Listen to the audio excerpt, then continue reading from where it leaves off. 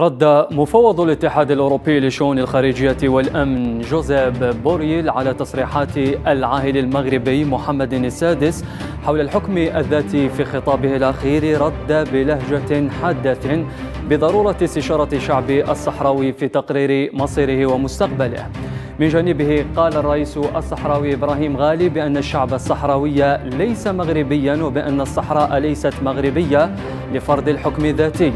وفي هذا السياق جدد المكتب الدائم للأمانة الوطنية إدانته لسياسة العرقلة والتعنت التي تنتهجها دولة الاحتلال المغربي والتي عكسها خطاب الملك محمد السادس الأخير محذرا من تأخر تدخل مجلس الأمن الدولي لوضع حد لهذه التجاوزات. فأي مشهد قد يتشكل قريبا في ظل هذه المتغيرات الحاصلة. هل ستجني القضية الصحراوية نقاطا إضافية في ظل السقطات الدبلوماسية المغربية المتتالية؟ ولماذا يتخوف النظام المغربي من تنظيم استفتاء للشعب الصحراوي يقرر من خلاله مصيره. أهلا بكم إلى المشهد المغاربي.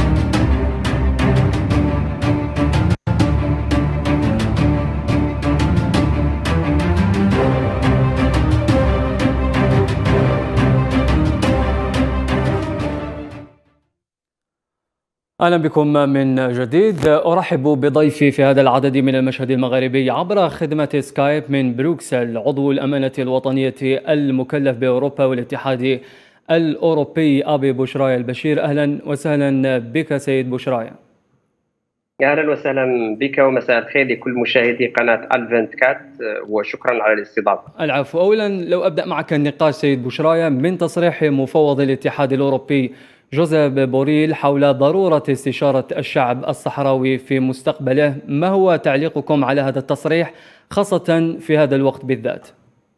تفضل. آه، هو تصريح جوزيف بوريل مسؤول العلاقات الخارجية للاتحاد الأوروبي والسياسة الأمنية. آه، تصريح آه، بالنسبة لنا تصريح بالغ الأهمية. بالغ الأهمية بالنظر إلى المستويين إلى الظرفية التي تم الإدلاء آه، فيها بهذا التصريح ولكن أيضا إلى محتوى التصريح في حد ذاته.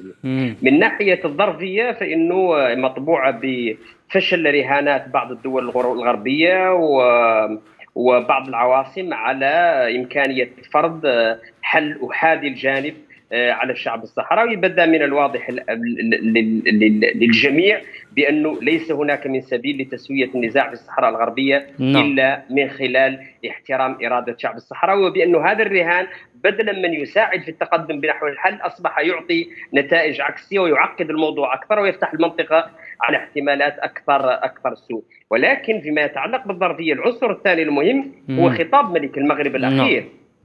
الذي كان مليئا بالوعيد وبالتهديد والذي بدا بأنه متحرر من أي عقال للعقل من أجل ضرب استقرار المنطقة بكاملها وفي اعتقادنا بأنه آه، تصريح بوريل في هذا الظرف مباشرة بعد خطاب ملك المغرب يشكل بطاقة صفراء آه، آه، اشهرتها أشهرها الاتحاد الأوروبي في وجه ملك المغرب وفي وجه هذا في وجه هذا الخطاب. هذا فيما يتعلق بالظرفية ولكن من ناحية المحتوى التصريح مهم جدا لثلاث عناصر أساسية، اولا يتضمن كلمة استشارة الشعب الصحراوي على اعتبار بأنها آه، آه، هي السبيل لحل النزاع في الصحراء الغربية. والاستشارة بطبيعة الحال تعني نعم. الاستفتاء وتعني تقرير المصير. تأكيد على موضوع الشعب الصحراوي، الشعب الصحراوي بالمفهوم ليست الساكنة وليس الصحراويون فالشعب الصحراوي مصطلح لديه دلالته القانونية ولديه علاقته المباشرة بتقرير المصير وبسيادة الشعب الصحراوي في جميع الأبعاد فيما يتعلق بالوحدة الترابية لكامل حدود الصحراء الغربية ولكن أيضا الوحدة السيادة على الثروات والحق في تقرير المصير. العنصر الثالث هو حين يؤكد بأنه في النهاية إرادة الشعب الصحراوي هي نعم.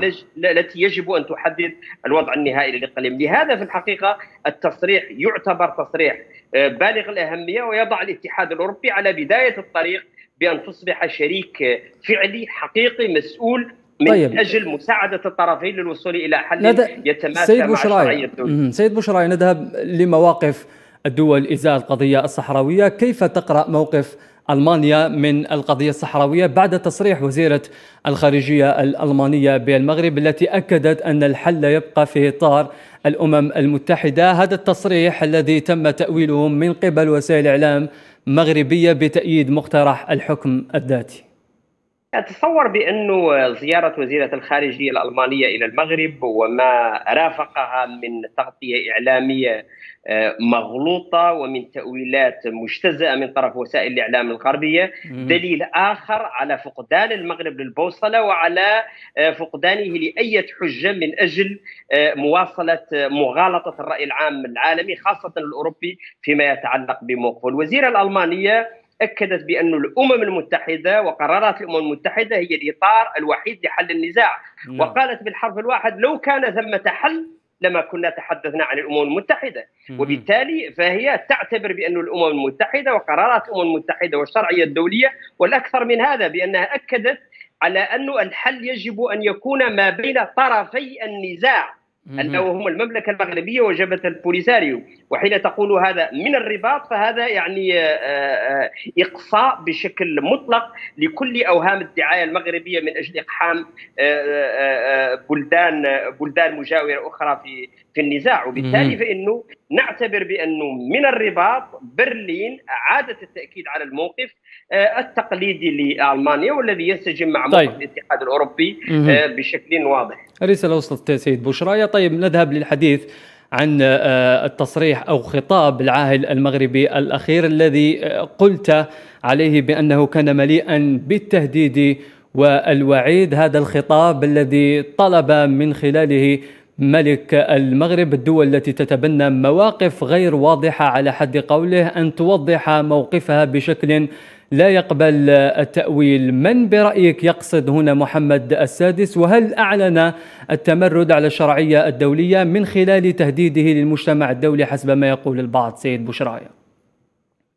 آه الملك المغربي يقصد الجميع وهو ينطلق في هذا التصريح في هذا الوعيد في هذا التهديد من فلسفة عدوانية توسعية قارة متأصلة وثابتة كإيديولوجية هي التي تتحكم آه، آه، آه، بخيارات النظام المغربي خاصة على مستوى المنطقة وحتى على مستوى العالم. قلنا مرارا وتكرارا بأن التوسع المغربي قنبلة انشطارية في جميع الاتجاهات شمالا وشرقا وغربا وجنوبا.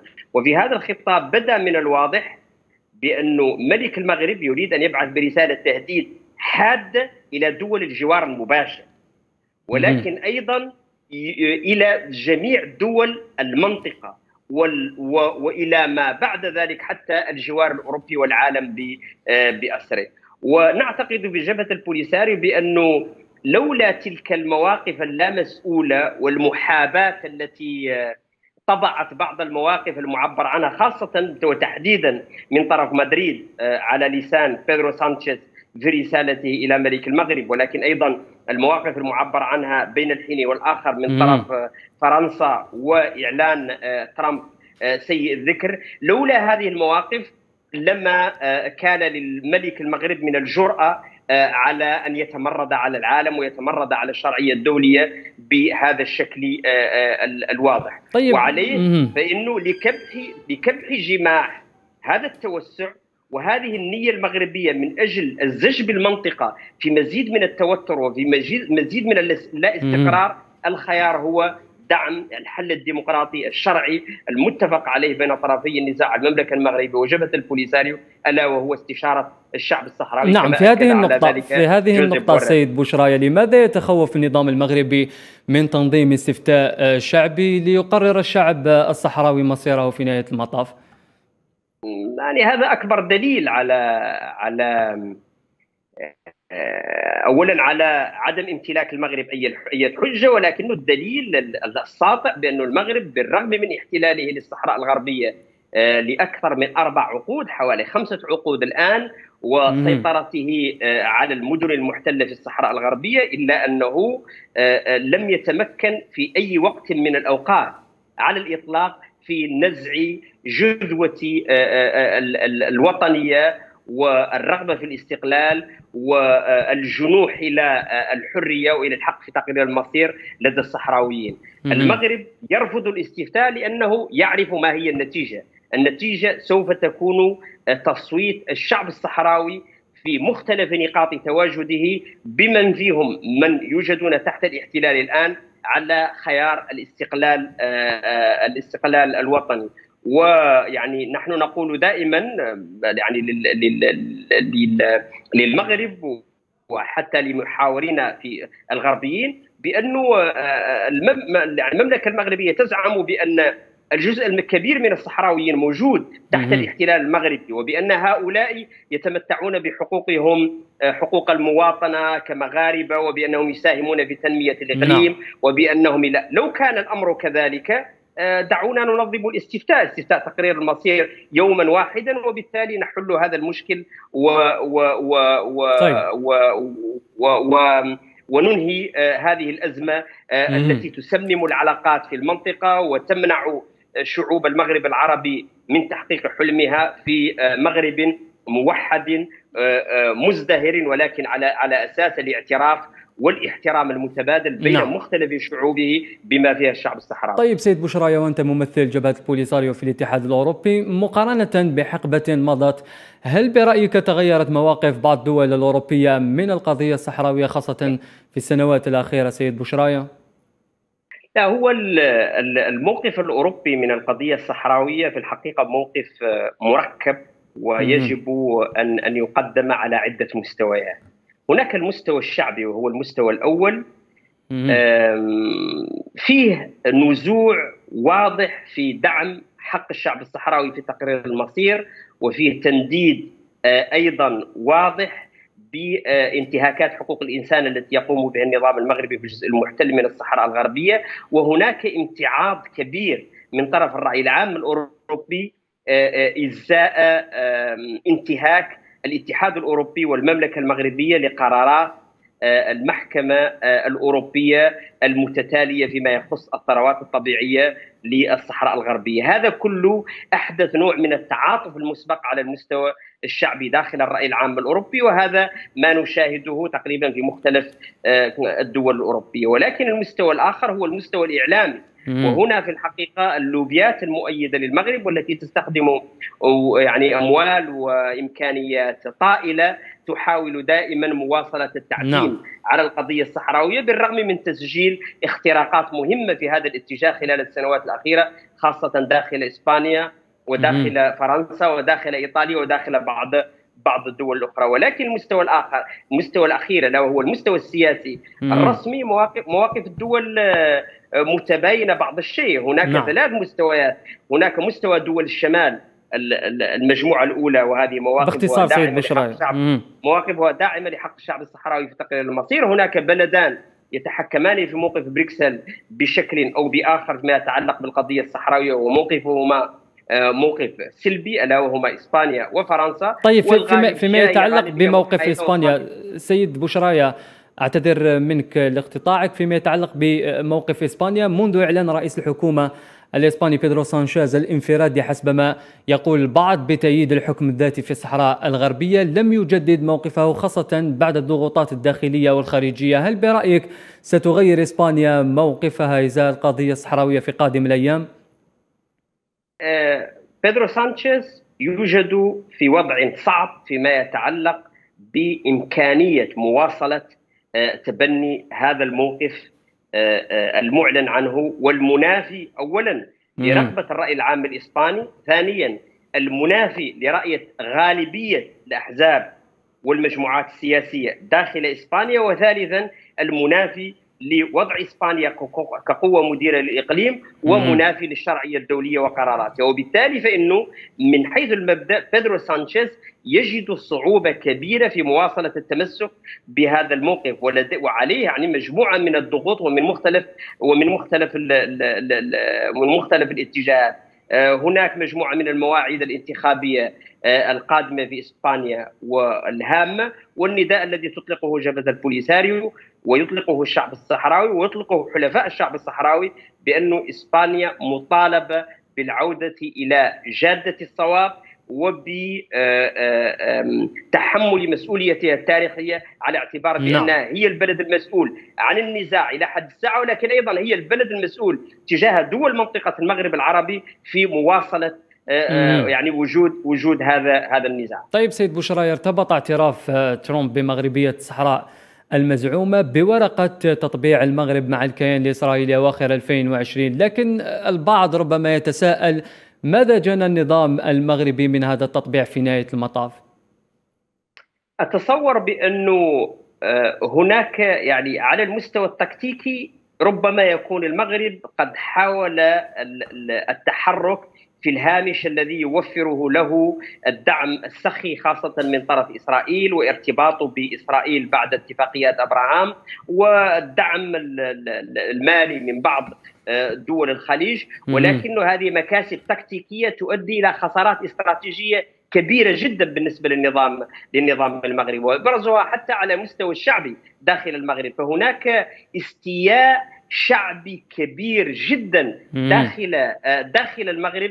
من هذا من هذا التطبيع وأتصور بأنه إذا كان الهدف الرئيسي من خلال استقدام إسرائيل إلى المنطقة هو محاولة ضرب أمن واستقرار آه، البلدان الجوار فإنه ربما ينقلب السحر على الساحر فيما يتعلق بالمغرب ويكون المغرب الأقصى المملكة المغربية هي أولى ضحايا هذا التطبيع من خلال تفاعلات الرفض الشعبي داخل الشارع المغربي لهذا التطبيع والحقيقة المس من مسؤوليات المملكة المغربية آه، آه، ضمن فضائها العربي وضمن فضائها الإسلامي حيث تم تعرية النظام المغربي أمام الملأ يعني ك ك كنظام يخدم أجندة معادية اولا لمصالح الشعب المغربي، معادية لمصالح شعوب المنطقة برمتها ومعادية لالتزامات هذا الشعب العربية و و والإسلامي. طيب ما هي خطوات جبهة البوليساريو القادمة خاصة على الصعيد آه، الدولي بعد الانتصارات الدبلوماسيه الاخيره سيد بوشراية؟ آه، جبهة البوليساريو النضال الدبلوماسي يشكل آه، أحد محاور المقاومة الوطنية الصحراوية رفقة المحاور الكبرى وأبرزها الكفاح المسلح الآن وجبهات العمل الدبلوماسي مفتوحة يعني على تقريبا في مختلف في مختلف القارات. آخرها مثلا سلسلة يعني الاعترافات المسجلة على مستوى أمريكا اللاتينية بعد التغييرات التي سجلت على مستوى بعض الحكومات هناك وهناك آفاق كبيرة في هذا الاتجاه. على مستوى الاتحاد الأوروبي الوضع نعرفه مع هذه المتغيرات الإيجابية الأخيرة ونحن في انتظار قرار محكمة الاتحاد الأوروبي آه، خلال مطلع السنة القادمة الجديد والذي سيؤكد آه، على سيادة الشعب الصحراوي وعلى حق الشعب الصحراوي في تقرير المصير وسياده وإلغاء هذه الاتفاقيات مع مع المملكة المغربية على مستوى الاتحاد الإفريقي مكانة الجمهورية الصحراوية وأوهام المملكة المغربية التي كانت تتصور بانه بعد انضمامها إلى الاتحاد الافريقي سنة 2017 مسألة مسألة وقت فقط من أجل التأثير على باختصار سيد بشرى باختصار. على عضوية الجمهورية الصحراوية اليوم ونحن يعني نستعد الآن لدخول قمة الشراكة ما بين الاتحاد الإفريقي واليابان. الجمهورية الصحراوية موقعها يتعزز وبشكل مضطرد آه، كبلد مؤسس وكبلد آه، فاعل. داخل هذه المنظمة هذه طيب. المنظمة القارية بالإضافة إلى موضوع الأمم المتحدة حيث يشتد الخناق على المغرب وآخرها زيارة ديمستورا إلى المغرب حيث تم رفض تنقله إلى المدن المحتلة وهو ما شكل امتعاضا كبيرا لدى الأمم المتحدة وهو ما زال في بداية مهمته. طيب نكتفي بهذا القدر عضو الأمانة الوطنية المكلف بأوروبا والاتحاد الأوروبي ببشرايا البشير شكرا جزيلا لك. شكرا جزيلا. المشهد المغربي ما زال مستمرا معكم مشاهدينا وتتابعون بعد الفاصل.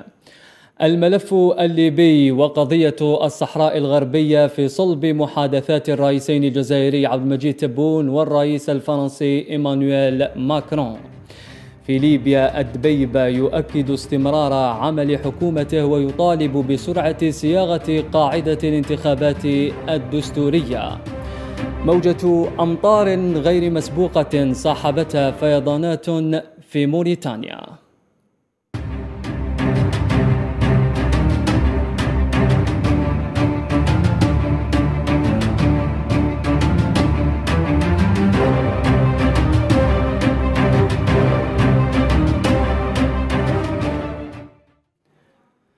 بداية يواصل الرئيس الفرنسي إيمانويل ماكرون الجمعة زيارته للجزائر التي تستمر إلى السبت.